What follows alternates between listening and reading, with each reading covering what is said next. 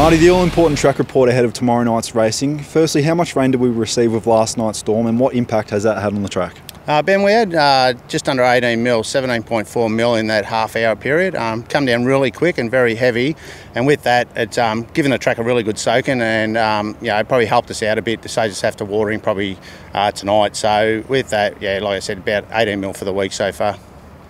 It is warm weather and drying conditions today, but there is possibility of more rain tonight. What surface do you think we'll be starting on tomorrow? We're currently on a soft five um, after that rain. Uh, with the weather forecast for today is about 31 degrees and reasonably strong winds. And so with that, the track will naturally improve and get back into that good four range. But the forecast is for like 0 to 20 mils again tonight. So if we get the lower side, naturally we'll be on a good four. If we get the higher side of that forecast and we do get that rain, then we'll be back in that soft five range. And lastly, the rail stays in the six metre position from last week's meeting. Talk us through the reasoning behind that. Uh, well, we raced on a good three last week. We got an early upgrade, and there was very little damage done. And with that, when we were last in the True, was it was our third meeting in the True in a row. And we raced on a soft track, and there was just a bit of wear and tear there. So we just thought, given it that extra week to recover, will help us out for with the uh, races we've got coming up in the next two or three weeks.